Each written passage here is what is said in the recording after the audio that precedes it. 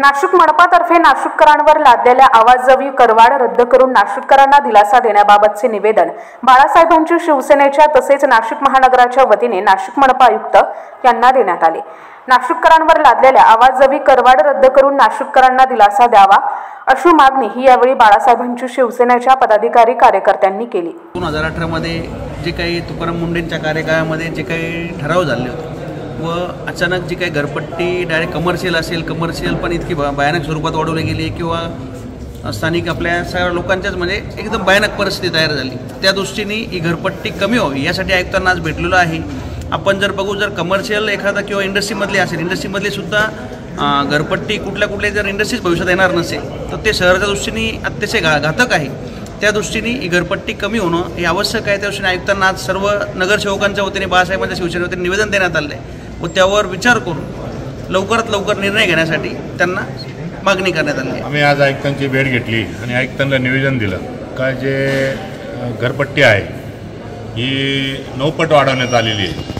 तर ते कमी करण्यात यावं रेटप्रमाणे तिची घरपट्टी लागण्यात यावा. आणि जी काही नऊपट वाढेल आहे, तर ही एकदा न वाढवता ही स्लॅबप्रमाणे जर तीन वर्षाला हिची वाढ करण्यात यावा अशी आम्ही आयुक्त साहेबांकडे मागणी केली. आणि आयुक्त साहेबांनी त्याला दुजोरा दिला आहे ते इगरपट्टी घरपट्टी ते म्हणे लवकरात लवकर. त्याच्यामुळं काय होतं जे आपल्या नाशिक शहरामध्ये सातपूर असन आंबड असन या ठिकाणी इंडस्ट्री आहे. इंडस्ट्रीचा त्यांना भाडे घरपट्टी एवढी जास्त आली किंवा म- प्रॉपर्टीचा टॅक्स जास्त आल्यामुळे मग ते इकडून स्थलांतर होऊ राहिले अशी आम्ही आयुक्तांकडे मागणी केली.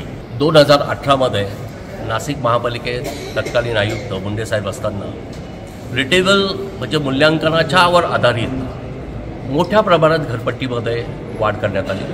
यामध्ये इंडस्ट्रीयल घरपट्टी कमर्शियल घरपट्टी आणि रेसिडेन्शियल घरपट्टी. ह्या याच्यामध्ये म्हणजे रेसिडेन्शियलमध्ये त्यावेळेस चारपट वाढ केली होती. परंतु आम्हाला आठवतं सर्वपक्षीय उठाव झाला. अगदी मुंडे साहेबांवर अविश्वासा सुद्धा ठराव आणण्याचा विषय झाला. आणि तेव्हा चार टक्क्याहून ती दोन टक्के त्यांनी रद्द केली ती दोन टक्के राहिली. परंतु हे करत असताना जी वाणिज्य म्हणजे कमर्शियल घरपट्टी ही नऊपट वाढवण्यात आली. याच पद्धतीनं इंडस्ट्रीयल घरपट्टी जी पूर्वी अत्यंत कमी होती तिचं इंडस्ट्रीयल घरपट्टी ही रद्द करून त्याचं रूपांतर कमर्शियलमध्ये करण्यात आलं आणि ती सुद्धा नऊ टक्के वाढवण्यात आली. ह्या व्यतिरिक्त अशा पद्धतीचा जर कोणाला गाळा असेल किंवा एखादी इंडस्ट्री असेल ती भाड्याने द्यायची असेल त्याच्यावर पुन्हा तीन पट. त्यामुळे नाशिकचा पूर्ण विकास थांबलाय. ही अत्यंत ज्याला जिझिया कर म्हणतो असा हा चाचक कर आहे हा रद्द झाला पाहिजे. घरपट्टी ही वाढली पाहिजे त्याबद्दल कोणाचंही दुमत नाही. परंतु दहा अकरा वर्षात वाढली नाही म्हणून एकदम वाढवणं हे चुकीचं आहे. दुसरी गोष्ट ज्या आधारे वाढवली गेली मूल्यांकन बेसिसवर तर असा कुठलाही सर्वे शहरात झाला नाही. बोगस सर्वे झाला. तोही आम्ही दाखवला होता. त्यामुळे ही पूर्णपणे अनाधिकृत आहे. आणि म्हणून माननीय आयुक्त साहेबांना आम्ही सांगितलं नाशिकचा विकास थांबला आहे नाशिकमध्ये चांगले ब्रँड्स येत नाही आहे नाशिकमध्ये चांगले उद- उद्योग येत नाही आहे आणि त्याचा पूर्ण परिणाम नाशिकच्या रोजगारावर होतो आहे आणि म्हणून आता आम्हाला खात्री आहे की म- माननीय मुख्यमंत्री एकनाथजी शिंदेसाहेब आहेत.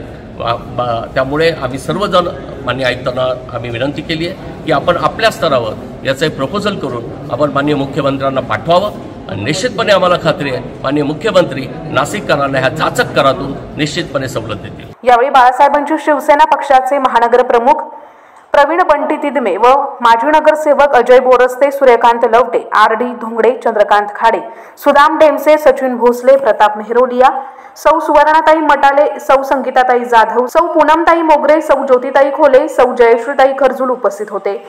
यांचे न्यूजसाठी रोहन दानी नाशिक.